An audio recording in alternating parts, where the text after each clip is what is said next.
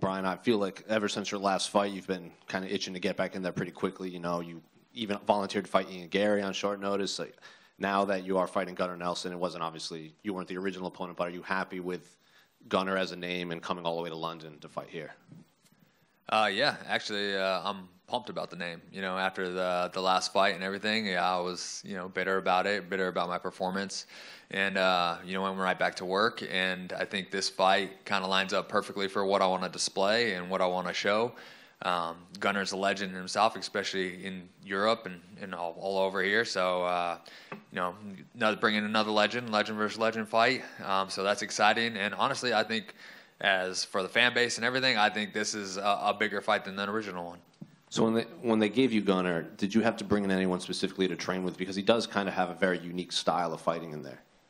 Um, you know, only I got my my training partner. He's right here in the back, Paul Carson, up and cutting stud. Uh, you know, he gave me everything I needed to see, and um, we're ready. Is this your first time in London?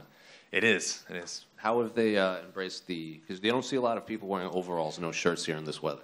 Yeah, so uh, yeah, the no shirt obviously, you know, is is cold out. Uh, so I went ahead and layered up. I went to the mall, walked around the mall a little bit, and I was definitely, you know, had a shirt on, sweater underneath, but the overalls were still there. You know, I got a couple looks. So I don't know how often people walk around in overalls, but those uh, you paint your fingernails too. Yes, my daughter paints them uh, for every fight. Um, it's my it's my war paint, and she did uh, a theme for uh, St. Patrick's Day.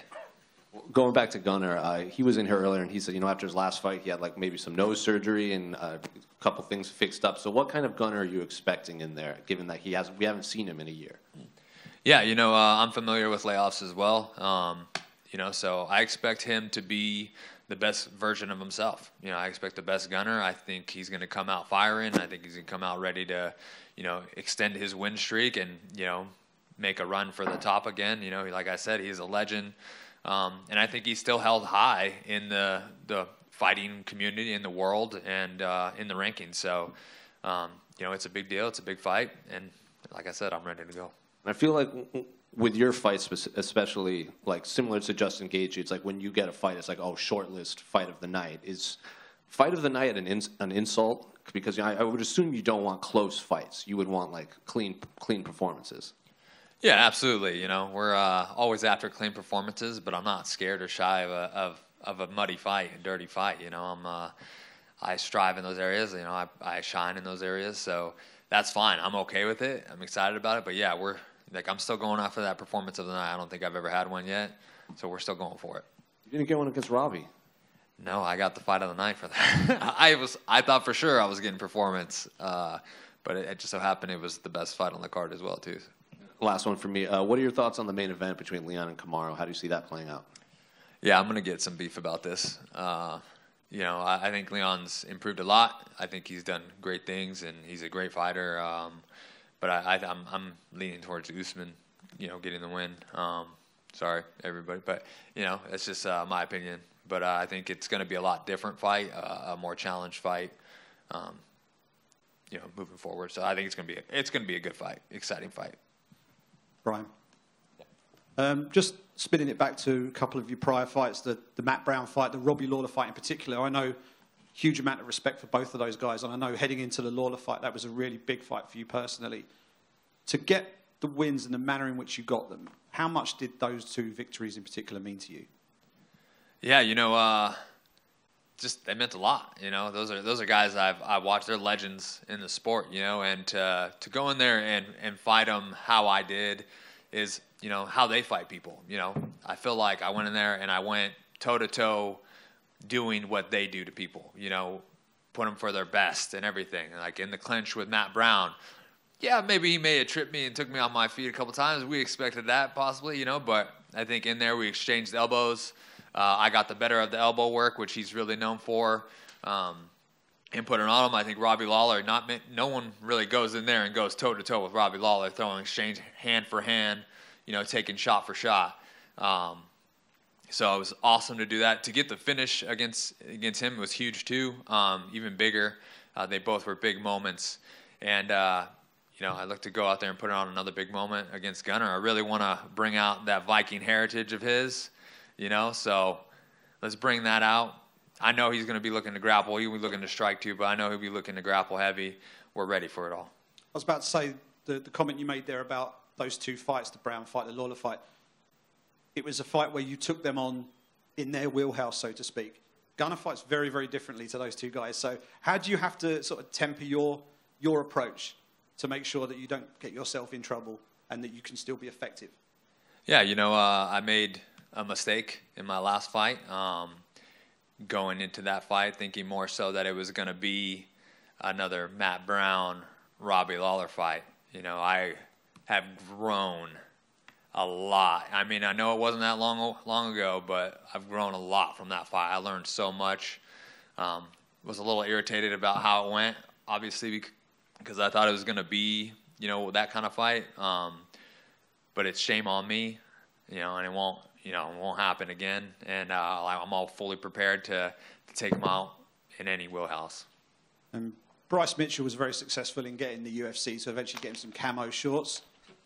What chance are you getting some denim denim print shorts one Yo, give me the like cut off jeans. Like, come on, the short. Yeah, let's get it. The denim, denim, cut off looking. You know, let's do that. Let's go. Uh, Venom, come on, UFC. Let's make it happen. Venom denim. Yeah.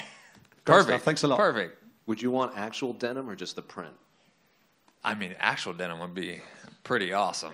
I would, if I do say so myself. Yeah, JFE be a little tight, you know, whatever. Like tighter, not probably much flexibility. But How short? How high are we going? how high do we want it? Let's go. Come on. Give the people what they want. Uh, Brian Buck here in the middle. Uh, you've recently made the full-time move to North Carolina to be close to the, the gym that you train at, Jimmo. Why did you decide to make that move now as opposed to somewhere later down the line? Uh, you know, it's been, you know, we've been talking about it a while, you know, and uh, sick of traveling. You know, uh, it's hard. The hardest part about fight camp and everything is being away from my family. You know, that's the most important to me, and uh, it's hard. It puts a, a lot of wear and, and on me emotionally and physically, and you know, I'm better when they're around. So, um, you know, I obviously went through uh, almost dying, you know, not making it, um, not being able to be here today, and you know, thank God, you know, I'm I'm blessed, and you know, He wanted to keep me here, and I'm able to con- still even to continue fighting. They said I, you know, probably wouldn't be able to, um, so it's truly a blessing, and I'm, you know, so grateful. And with that too, it was just another reason to even get them, you know, closer. Is why I spend, you know, four hours away you know, on driving and stuff like that, just not to be able to be with them. You know, I think from having them there with me now and in camp and everything, and being able to see them every day in the morning and then go to train and come home and be home at night with them, um, I'm the best version of myself. I think you see it in the training room. I think my training partners see it. My coaches see it. Um, you know, you're just getting me at another high le- at a higher level. Welcome to London. Thank you very much. Uh, Bryan, uh, you used to train at the MMA lab with uh, John Crouch, and John Crouch uh, coached uh, Rick Story, who beat Gunnar in 2014. Did you get any any points from him? Uh, no, leading up to the fight, like I didn't. We haven't talked. I haven't talked to him about the fight or anything like that. But uh, the loophole in that story is, I was in the corner and there were fight week when he fought Gunnar. Uh, you uh, previously faced good wrestlers like uh, Dos Anjos, obviously, and, and Colby Covington. How would you, uh, from fights you've seen of Gunnar, what do you think about his wrestling compared to uh, Colby and, and Dos Anjos? I think his wrestling is a lot more, you know, uh, grappler heavy, you know, jujitsu kind of style wrestling, not traditional wrestling. Um, but I've been doing, I've been doing a lot of wrestling this camp. Been doing a lot, like improving a lot of my wrestling, uh, really showing, you know, great strides, really. And uh, you know, I, uh, you know, doing all the wrestling, it's you know, it's hard. So I'm, you know, doing my other job as well because I really love it. Um, so just getting a lot of wrestling, but you know, hopefully, you know, with doing my other job on the side as well, it's, you know, I look to bring that into to play as well. Uh, Bryan, hi. You you are. Te- I hope you don't mind me saying you're technically the, the betting underdog in, in this fight. Do, do you enjoy that? Do you embrace the idea of kind of proving people wrong and maybe having less pressure on you?